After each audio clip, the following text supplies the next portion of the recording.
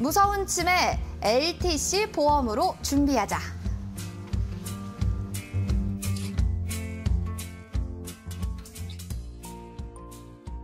네, 오늘의 주제는요. LTC 또 보험에 대한 이야기입니다. 제가 핸드폰에 LTE는 정말 익숙해서 자주 들어는 봤지만 LTC 보험이라니 참 생소합니다. 선생님 이게 어떤 보험인지 좀 자세히 설명부터 좀 들어봐야 될 것 같아요.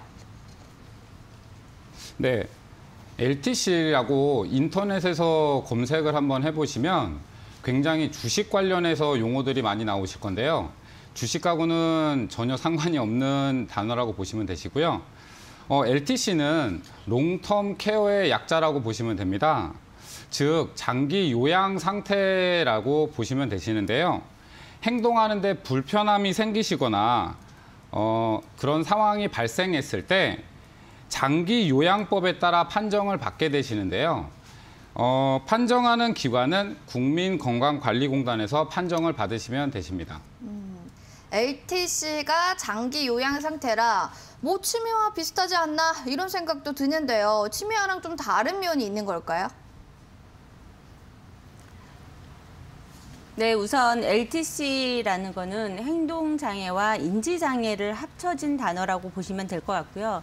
여기서 인지장애가 아마 치매로 많이 연결을 된, 연결이 되신다고 보시면 되고, 되시는데요. LTC는 어, 행동 또는 인지장애, 거기에 치매까지 포함이 되어 있다는 걸 꼭 기억해 주시고요.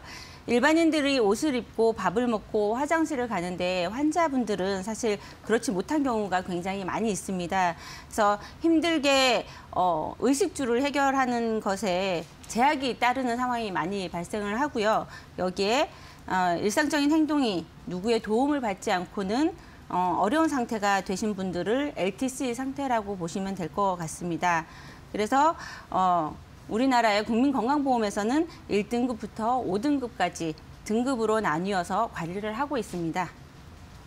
그러니까 LTC는 행동과 인지, 치매 같은 경우에는 또 인지 이렇게 좀 구분이 된다라는 점이 파악이 되는 것 같습니다. 5등급까지도 구분이 된다라고 하는데 단계별 좀 설명 가능할까요, 이주성 선생님? 네. LTC 등급은 화면의 표와 함께 저와 함께 보시겠는데요. LTC 등급은 총 다섯 단계로 분류가 되십니다. 어, 첫, 그 1등급부터 4등급까지가 행동 장애 부분에 속하시는데요. 1등급은 계속 누워 있으신 상태가 되셨을 때 1등급을 받으실 수 있고요. 2등급은 누워 계시나 휠체어까지는 이동하실 수 있는 상태를 말하십니다. 3등급은 앉아 있을 수는 있으나 혼자서는 남의 도움 없이는 움직이실 수 없는 상태를 말씀드리고 있고요. 4등급은 타인의 도움을 조금만 받으시는 단계라고 보시면 되시고 5단계는 음, 치매 전용 등급이므로 치매 전용 등급에 있어서 동일하다고 보시면 될 것 같은데요. 치매는 CDR 점수로 의사의 판단에 의해서 매겨지게 됩니다. 전체적으로 봤을 때 국가에서 운영하는 장기 요양 등급에 따라 치매 등급을 치매 등급보다 장기 요양 등급 판정이 더 넓게 되시는데요. 우선은 치매 등급의 표를 보시면 어, 중증하고 중증도하고 경도라고 나, 경도로 나눠집니다. 음, 중증도에서는 1점부터 5점까지가 되시는데 5점 같은 경우는 자신이 누군지 인지하지 못하시는 상황 4점 같은 경우는 아는 사람도 깜빡깜빡 잊어버리실 수 있는 상황 3점 같은 경우는 옛날 일을 기억을 잘 못하시는 상황이 되시고 2점 같은 경우는 오전이나 오후에 내가 했었던 일을 깜빡깜빡 까먹으시는 상태가 되십니다. 어, 1점하고 0점이 있는데 최근에 가끔가다 깜빡깜빡거리시는 경우를 이런 그 이런 식으로 이제 점수를 체크를 받으시면 되시는데요. 어, 전체적으로 보면 국가에서 운영하는 장기 요양 등급을 등급이 LTC 보험이 CDR 척도로 파악되는 치매 보장보다 아무래도 좀 더 받기가 용이하다고 볼 수 있는데요. 특히 추가적으로 치매뿐만 아니라 기타 노인성 질환 등급까지도 받을 수 있기 때문에 더 유리한 부분이 있다고 보시면 되시겠습니다. 그러니까 쉽게 말해서요. LTC 보험 같은 경우에는 치매 플러스 여기에 다른 질병까지 보장을 해주는 개념이다라고 이해를 해주시면 될 것 같습니다. 그러면 여기서 여러분들도 궁금하실 거예요. 다른 질병은 어떤 걸 보장받을 수 있는데 궁금하실 것 같습니다. 자, 선생님한테 여쭤봐야 될 것 같아요. 황금희 네. 선생님 준비되셨나요? 답변 네. 부탁드릴게요. 네, 많이 있습니다. 조사에 따르면 LTC 환자 중에 순수 치매 환자는 어, 34% 정도밖에 되지 않습니다. 즉, 나머지 60% 이상은 다른 질병으로 장기 요양 상태가 되신다고 보시면 되고요. 그럼 왜 치매 보험이 이렇게 많이 부각이 되고 있고 이슈가 되는지 보시면 치료 관- 치매 관련 진료비는 10년간 거의 7.3배가 올랐고요. 진료 건수도 5.5배 이상 증가되었습니다. 그래서 최근 10년 동안 기하급수적으로 환자와 그 치료 비용이 늘어난 셈인데요. 어, 표를 보시면 현재 65세 이상 노인 중 어, 치매 환자 비율은 약 10% 정도 차지를 하고 있고요. 그렇다 그러면 10명 중에 1명이 치매 환자가 되어 있다. 이런 시대가 또 되었다라고 보시면 될 것 같고요. 노인 인구 738만 명 중에 74만 명이 치매에 걸리신다고 보시면 됩니다. 거기에 치매 경우에는 장기간에 거쳐 간병이 필요하고 어, 또 그 비용 또한 만만치 않기 때문에 연간 돌봄 비용 자체도 약 2천만 원 정도 그리고 평균 유병 기간이 거의 9년에서 12년 가까이 에, 치료를 받아야 되는 상태가 되기 때문에 보험으로 좀 많이 이슈를 받고 있는 상태고요. 또 보험으로 대비를 하셔야 되지 않나라는 생각이 듭니다. 그러니까 10년 동안 연간 2천만 원이 들어간다라고 하면 대략 2억 원가량이 또 거금이 필요한 셈인데 아, 사실은 좀 어렵죠. 이런 상황들. LTC로 치매를 대비하면 좋다라는 또 이야기를 계속해서 이주성 선생님께서 말씀을 해주셨어요. 그 이유 뭔가요?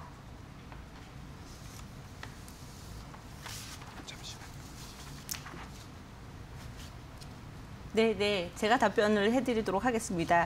네, 앞서, 앞서 말한 대로 치매가 인지장애라고 설명을 드렸고, 이와 다른 행동장애와 인지장애 에 포함된 LTC 보험으로 준비하실 필요가 분명히 있습니다. 예를 들어 설명을 드리면 주변에 중풍을 앓고 계신 분들이 많으신데요. 중풍, 즉 뇌졸중에 걸린 환자분들을 예를 들어 보겠습니다. 뇌졸중이란 말 그대로 혈관이 막히거나 터져서 뇌경색이나 뇌출혈로 분류되기도 하죠. 근데 이 뇌졸중이 굉장히 무서운 후유증을 남깁니다. 실제 제가 관리해드리는 고객님들 중에서도 뇌졸중으로 쓰러- 쓰러지시는 경우가 종종 있습니다. 다행히 병은 고쳤지만 후유증으로 굉장히 많이 고생을 하고 계시고요. 여기에 후유증에는 안면마비, 또 언어장애, 또 반신불구 되시는 분들도 굉장히 많고요. 나아가서는 이런 분들을 간병을 하다 보니까 가족들도 어, 좀 알아볼 수 없는 환자분이 가족분들도 알아볼 수 없는 치매 상태까지 이르게 되기도 합니다. 그래서 이런 환자분들을 어느 보장에서부터 보장을 받을 수 있는지 보시면 치매 보험이 있다 한들 치매로까지의 경과 기간, 행동 장애, 치매로 갔을 때 치매도 중요하지만 이 치매로 인해서 행동 장애까지 가는 경우가 굉장히 많이 있고요. 이러다 보면 어, 병원비 지출을 정말 무시할 수가 없게 되는데요. 어, 그래서 치매 보험으로 치매 상태가 되면 LTC로 보장을 또 받기도 하고요. 치매가 행동 장애까지 갔을 때는 어, 분명히 LTC 보험으로 보장을 더 많이 받으실 수 있고요. 이 외적으로도 요통, 관절염, 그다음에 골절, 그다음에 사고로 인한 경우도 경우로 LTC 상태가 되는 경우도 굉장히 많이 있습니다. 그리고 흔히들 많이 알고 있는 암, 고혈압, 당뇨들도 나이가 점점 들면서 LTC로 바뀌는 경우가 많이 생깁니다. 그래서 저희가 어, 환자분들을 보시면 점점 나이가 들수록 안 좋아지는 상태가 발생하기 때문에 분명히 LTC 상품으로 준비를 해 놓으시면 노년기에 간병비로 충분히 보장을 받으실 수 있을 거라는 판단이 됩니다. 행동 장애가 좀 수년간 지속이 되면 사실은 아, 비용에 대해서 좀 걱정이 많이 됩니다. 보장 범위는 좀 어느 정도인지 좀 궁금한데요, 황금희 전문가님. 네네. 그럼 간병 비용이 좀 많이 보장, 보험으로 보장이 될까라고 고민을 하실 것 같습니다. 간병 비용까지 보장을 합니다. LTC 보험 가입 후에서 보험금 지급 사유가 발생을 하면 먼저 진단비로 100% 정도 진단금을 수령하실 수 있고요. 어, 간병연금으로 연간 가입 금액의 20% 내지는 매월 가입하는 금액의 10%로 최대 10년 동안 네, 총 합계 금액을 어, 10% 20% 선에서 돌려받을 수 있다라고 보시면 되고요. 가입 금액의 1,500%까지 수령이 가능합니다. 그래서 보장 규모 면에서는 굉장히 많은 장점을 가지고 있고요. 어, 지금 이 방송 보시면서 난 LTC가 없다 하시는 분들은 어, 정말 전문가와 상담을 하셔서 LTC 보험을 판매하는 회사도 굉장히 적습니다. 그래서 한 번쯤은 내 보험에 LTC 상품이 있는지 한번 확인해 보시는 것도 권해드립니다. 네, 자 가지고 계신 분들은 좀 체크가 필요할 것 같다라는 이야기도 덧붙여 주셨습니다. LTC 보험 가입 시에 이제는 뭐 특약들도 있을 것 같은데요. 특약 선택 시에 좀 노하우가 있다면 어떤 부분이 될지 일단 이주성 선생님께 이에 대해서 물어보겠습니다.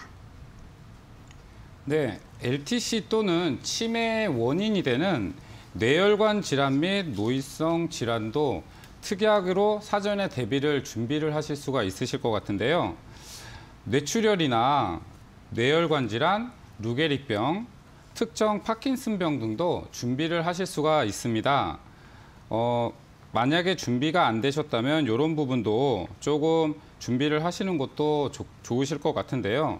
또한 합산 장애 지급률 50% 이상 또는 중증 간병 진단 보험금 지급 사유가 발생했을 시에 납입 면제 혜택도 보실 수가 있는데 납입 면제 혜택을 보시게 되면 경제적 부담도 줄이실 수 있을 것 같습니다. 알겠습니다. 오늘은 LTC 보험에 대해서 알아봤고요. 정리를 좀 해보겠습니다. 어떻게 좀 정리하면 좋을지 핵심 내용 이진호 선생님께서 전해주실 예정입니다. 네.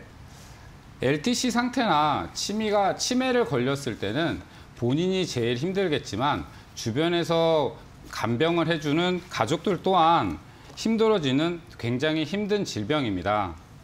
간병으로 인한 경제적인 어려움도 동반이 되기 때문인데요. 시청자분들도 난 아니겠지라는 생각을 하시고 계실 텐데요. 꼭 그러지 마시고요. 꼭 준비를 하셨으면 좋겠습니다. 고객님들이 잘 모르시는 팁을 제가 한 가지 드리고 드릴 건데요. 치매에 걸리셨을 때 나는 치매 보험이 준비가 안 돼 있다. 하지만 생명보험사든 손해보험사든 종합보험을 가지고 계시다면 종합보험 그 특약 부분에서 질병 후유 장애 특약이 있는지 없는지를 한 번 정도는 확인을 해보시는 게 좋을 것 같습니다. 질, 그, 질병 후유 장애에서도 어, 치매에 대한 보장을 해드리고 있기 때문인데요. 그래도 난 모르겠다. 그랬다면 전문가와 상담을 한 번 정도는 해보시는 것도 나쁘지 않으실 것 같습니다.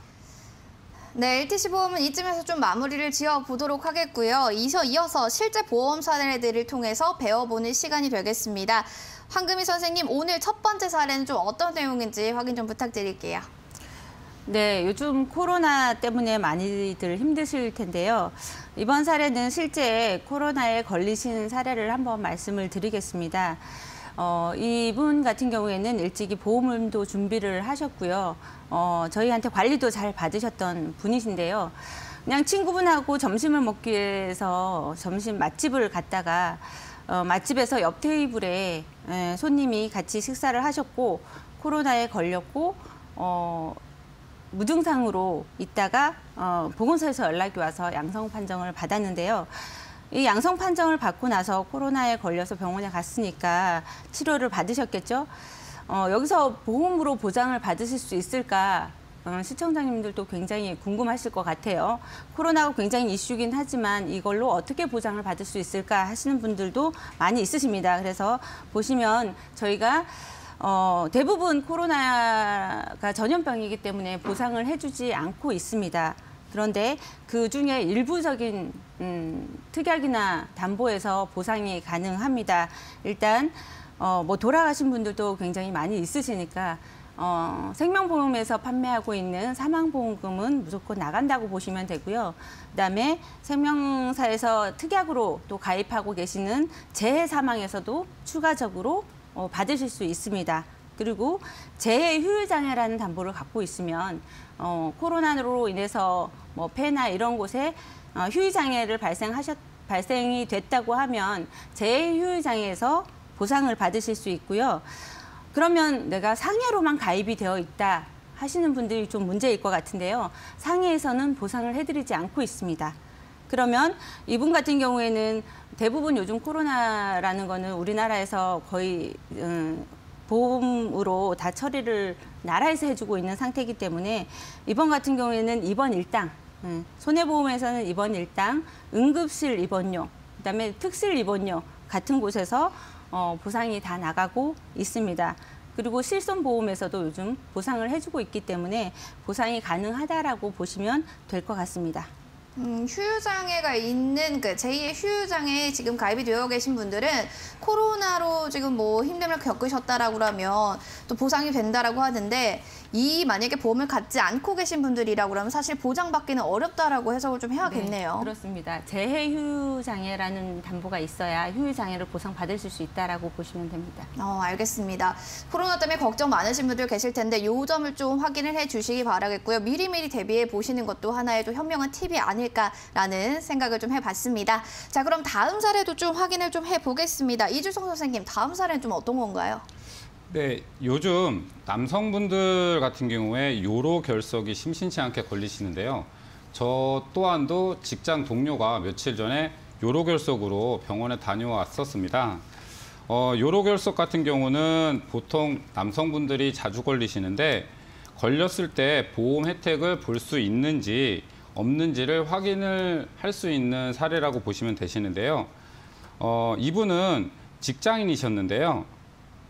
이 사례분은 소변을 보는데 소변에 피가 섞여 나오고 그 확인을 한 결과 병원에 갔는데 요로결석이라고 진단을 받으셔서 보험금 청구를 도와드렸던 사례인데요. 병원에서 충격 파쇄석술로 결석을 치료를 하시게 됐는데요.